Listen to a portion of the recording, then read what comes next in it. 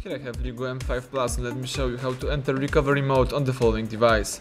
At the very beginning hold down power key to switch off your device. Swipe down your screen to power off the phone.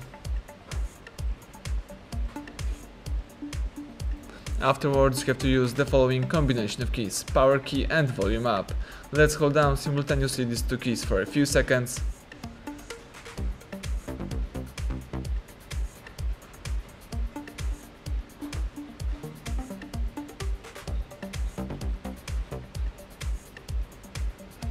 Release both keys as soon as boot mode appears in front of you. You can navigate here by using volume up. Scroll down to choose recovery and press volume down to confirm it. Wait a couple of seconds.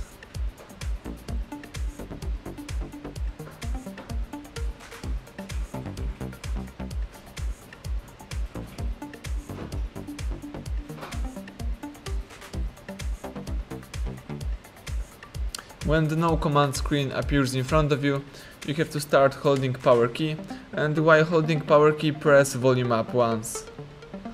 As you can see Android recovery just pops up, you can navigate here by using both volume keys and confirm options by pressing power button.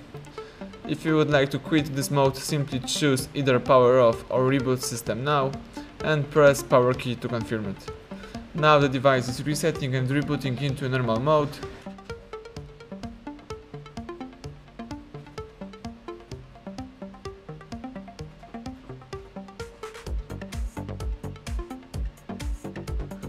Excellent.